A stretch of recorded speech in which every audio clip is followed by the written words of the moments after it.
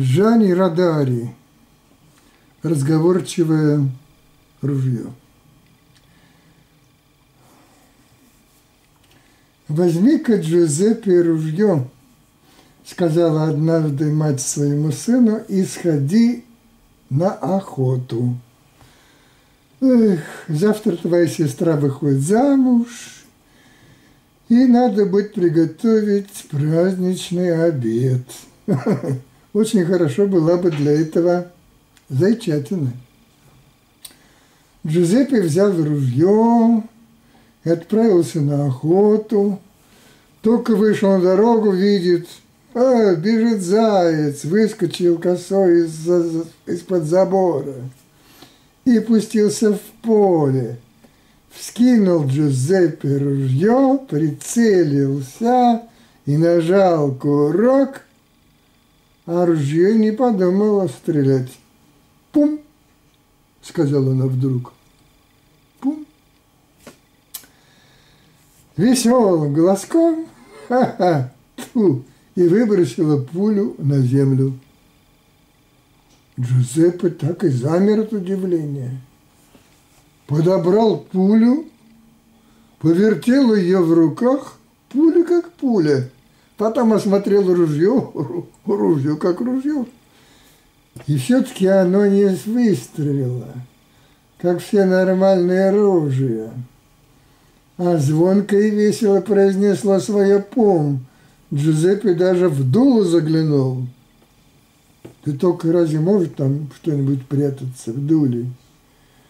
Никого там, конечно, не оказалось. Что же делать?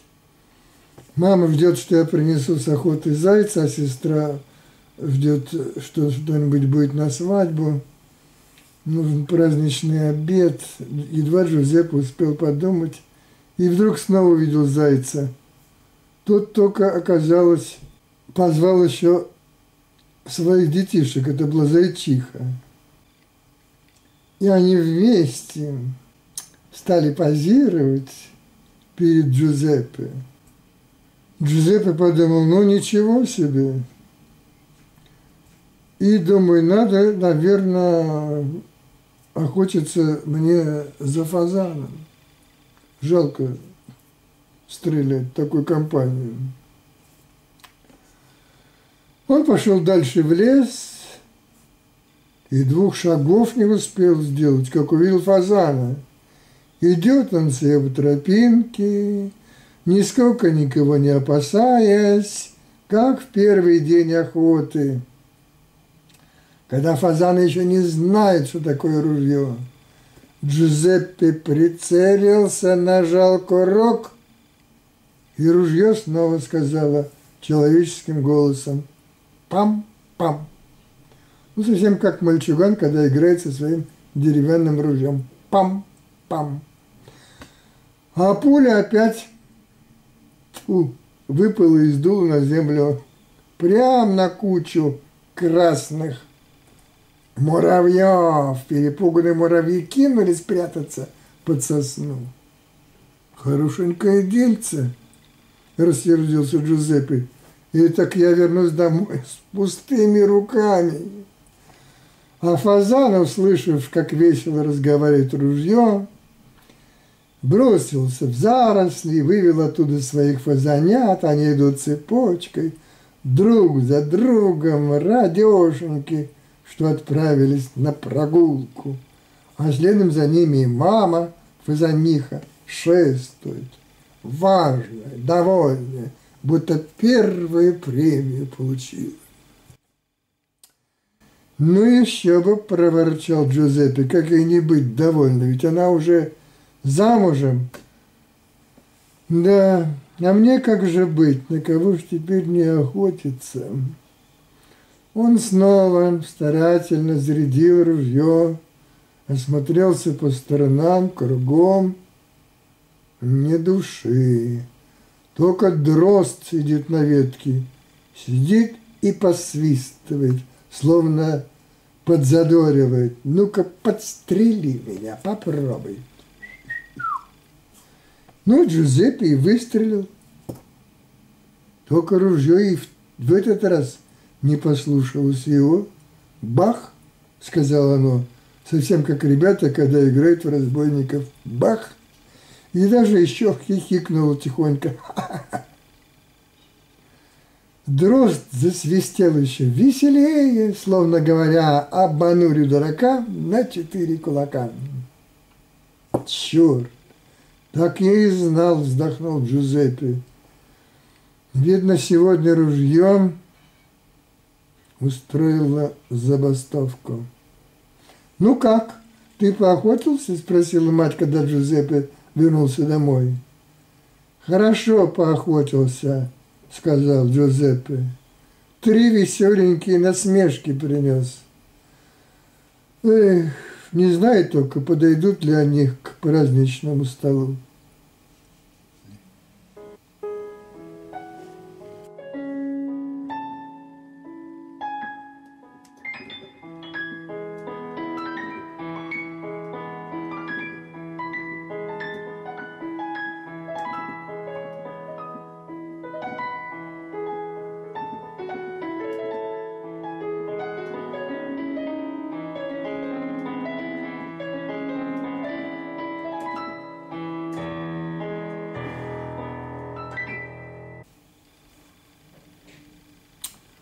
Дональд Бисет, кузнечик.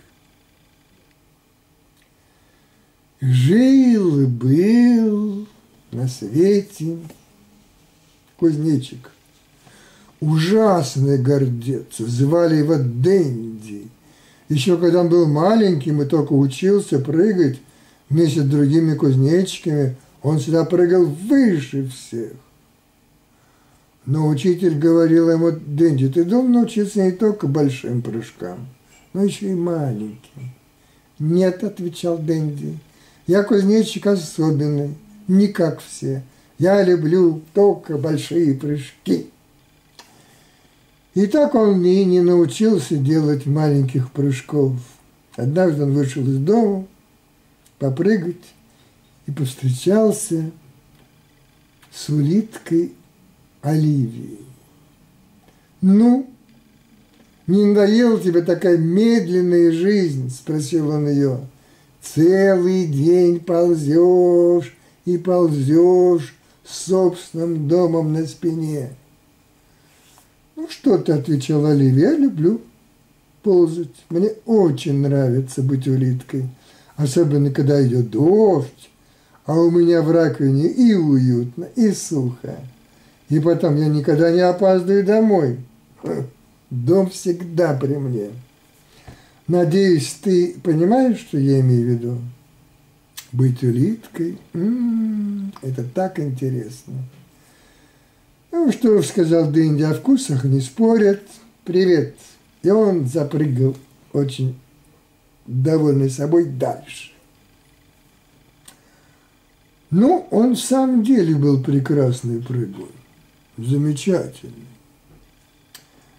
Все кузнечики хорошие прыгуны, но Дэнди мог прыгнуть на 30 сантиметров. Только на 30. Прыг и 30 сантиметров позади. Пока он разговаривал с Оливией, Ох, пришло время обедать, и Дэнди поспешил домой. Он был уже у самого дома, всего в каких-нибудь десяти сантиметрах, но попасть домой никак не мог, потому что сколько он не прыгал, все время прыгал через свой дом, ведь он не умел делать маленьких прыжков. Бедняжка Дэнди уже начал терять терпение и ужасно злился. Но тут, на счастье, появилась, кто бы вы думали, улитка Оливия со своим домиком на спине. «Ну вот видишь, Дэнди», — сказала она, — «улиткам тоже есть чем гордиться. По крайней мере, домой они попадают без всяких хлопот. У Оливии было доброе сердце, Почти все улитки добрые, если только не встанут ну, с левой ноги. И она предложила Дэнди, влезай ко мне на спину, я отвезу тебя домой. Дэнди очень обрадовался, тут же сел на нее верхом и улитка повезла его к дому. «Благодарю тебя, Оливия», — сказал он. «Теперь я сам вижу. Эх, что большие прыжки — это хорошо, но это еще не все на свете».